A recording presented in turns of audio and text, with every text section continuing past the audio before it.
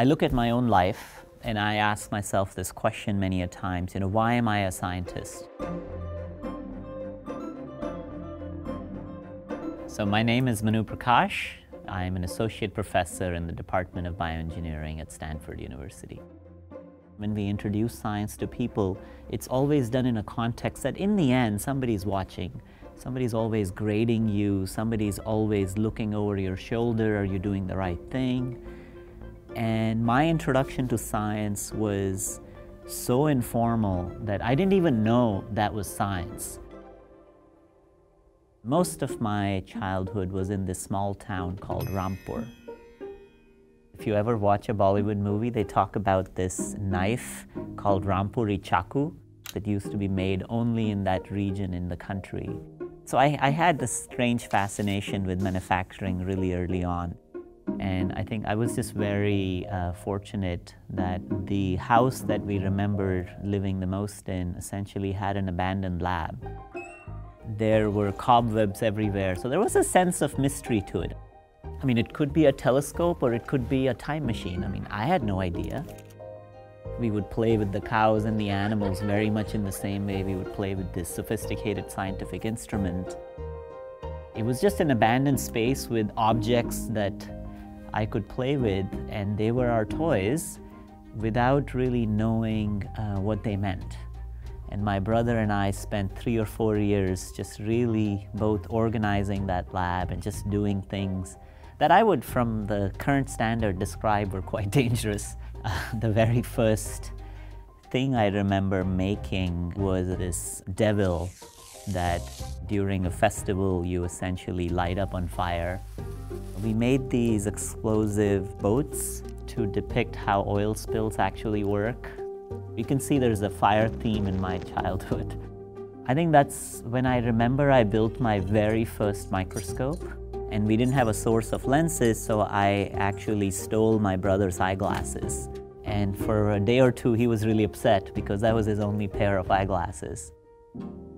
And then I reached high school and the system works in a very specific way. I mean, you know, in India, tens of millions of kids apply for these exams that you have to pass before you could get into a good engineering school or a good medical school. And these exams were about books. They were not about what I was making. None of my experience counted.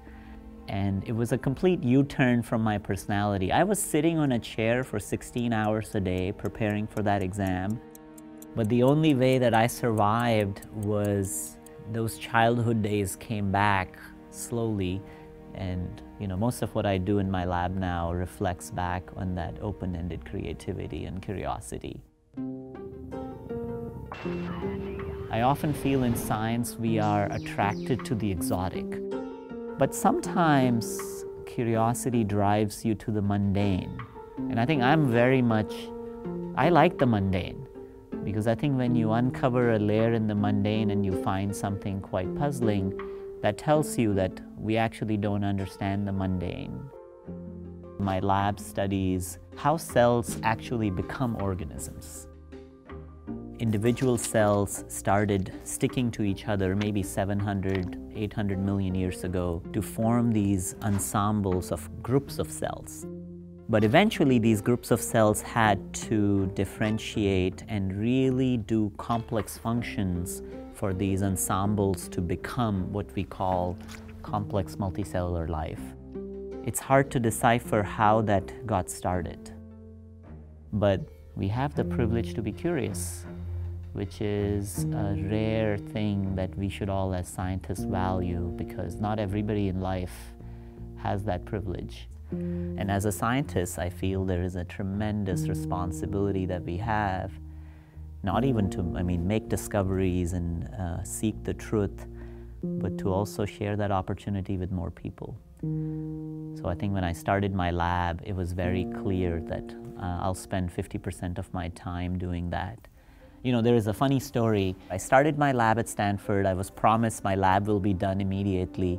And I arrived to find out that there was no lab to be found because of some construction goof ups and things like that. So I took my students, I traveled to you know remote places in Thailand, we went to India, just asking a question, you know, what inspires us?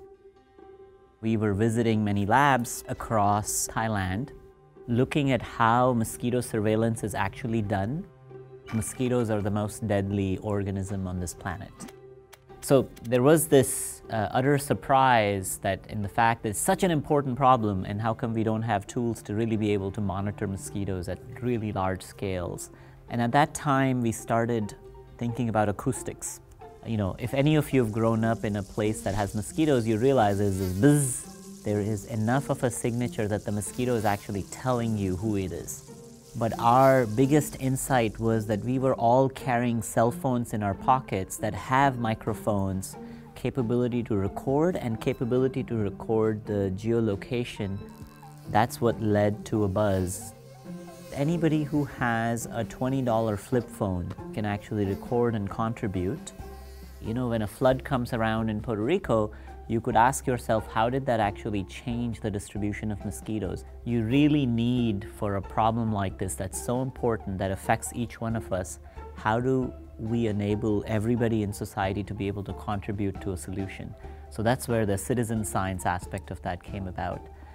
Uh, but much of that happened in just traveling in India, I ended up in the middle of nowhere seeing this pristine microscope. You know, there was only one person who knew how to operate it. Every time you add an order of magnitude of cost to your microscope, order of magnitude of people will never be able to access it. Foldscope is a microscope that we came up with that's built via origami. You fold it yourself with your own hands and within 15 to 20 minutes you have a fully functional microscope. And a very simple goal that we have with tools that we make is if we can just make this world more curious a place, that would be enough. There is a video that somebody just posted uh, from a school in Delhi of a kid describing what it means to him. I mean, here's a kid, he lives on the street, and that sheer joy of, you know, picking up an ant and understanding what it means. Many times when people collect Foldscope videos, the audio is caught, and then you hear a person thinking.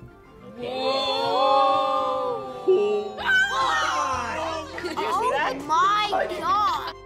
For the very first time, I showed it to a very famous academic scientist who had a lab next door to me I was a little bit hesitant. You know, you are saving the world, developing all these sequencing technologies. I'm making paper microscopes. But, you know, in the end, when I did show, he had a smile and then just is like, you know, that person shared that sense of wonder, and I was like, yeah, yeah, yeah, it's, it's all right. And I think since that time, I've learned my lesson that, you know, this is your life, there is one life, and it sounds very dramatic, but your best work will be the one that you're most passionate about. You don't wait to do your best work. You do it now, and you do it with the rigor and capabilities that you bring to the table, and you will see it will evolve into something that you really dreamed of. You know, you have to listen to yourself. And uh, very much in, if you don't listen to yourself, then you can't really be an honest scientist.